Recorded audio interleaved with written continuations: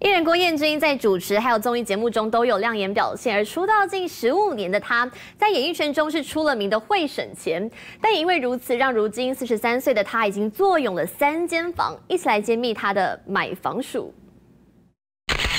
木质调设计装潢，整体看起来质感又舒适。这是艺人郭彦均的家，出道至今快十五年，他已成功坐拥三间房。第一间房子是二十八岁的时候买的，安科一平才十几万而已，六七十万头七款就买了。二零零八年的时候买的，非常便宜。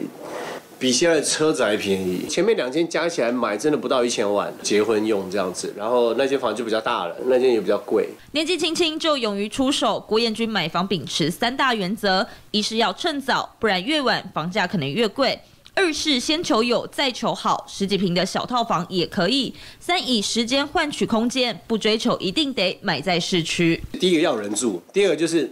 你喜欢的地方，只要那边有住很久的人，就代表那边是真的是有人在住，就是代表他们是生活机能是有的。但买房光有原则还不够，还是得要有足够的钱。郭彦均在演艺圈是出了名的会省，就算手机都布满蜘蛛网了，依旧舍不得换。尽量不要花过超过五千块啦，对。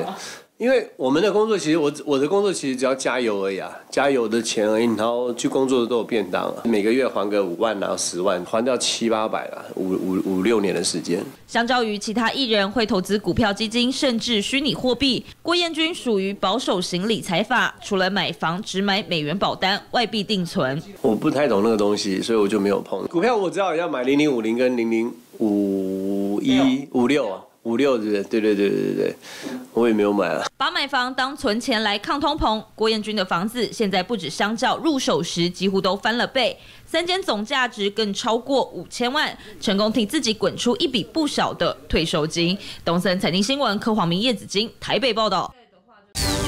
看盘不中断，赶快来按赞。东森财经二十四小时股市直播来喽，快点扫 QR code 加入。让我们来陪着你们看盘，最及时的盘中资讯，最权威的投资分析，满满一整天盘后交战，都在东森财经二十四小时股市直播。